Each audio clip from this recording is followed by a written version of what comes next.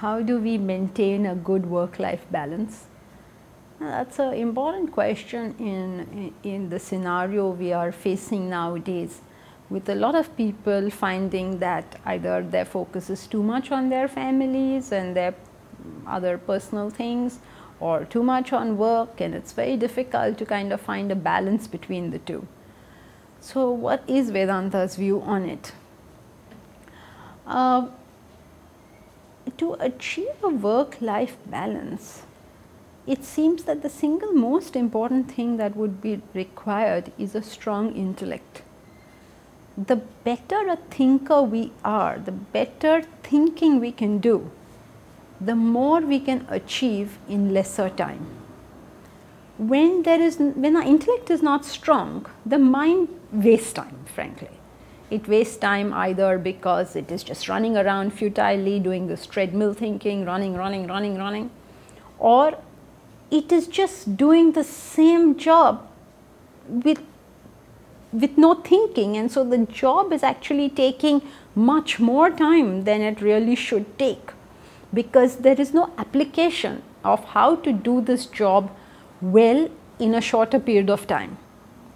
So, when we do not apply our intellects to our work or to any anything we are doing, we seem to take up a lot more time doing the same job. And when we take up a lot more time doing that job, then obviously something else has to suffer. So, we must be able to apply our intellects and know how much time I am spending in, in each, in whatever areas I am looking into. What are the various things I am doing in each of those areas and how much time I should be giving to them. And work out a system, work out a method how you can get that much work done in that much time. Say, no, there's no way I could do my work in lesser time. That's usually because we haven't applied ourselves. If we apply ourselves, we would find that we could take far less time in doing the same amount of work. Now, you may say, give me an example. How is that possible?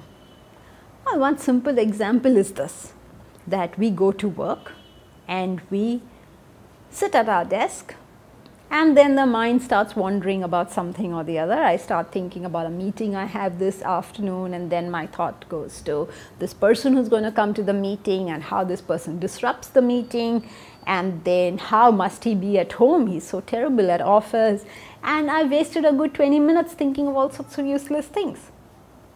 Why? My intellect was not strong enough to hold my mind. So, the, what is really happening, why our work life balance is probably going is because our intellect is not strong enough.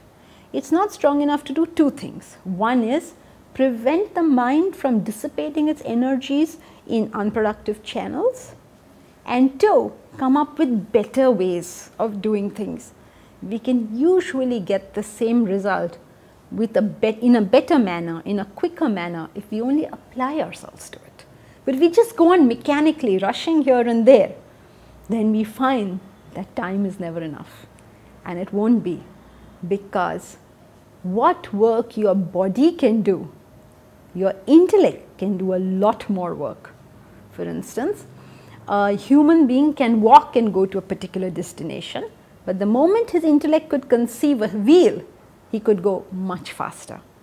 So that's what we need to build within ourselves a stronger, better intellect that will enable us to do our work quickly and thereby give us plenty of time to look into every other aspect of life.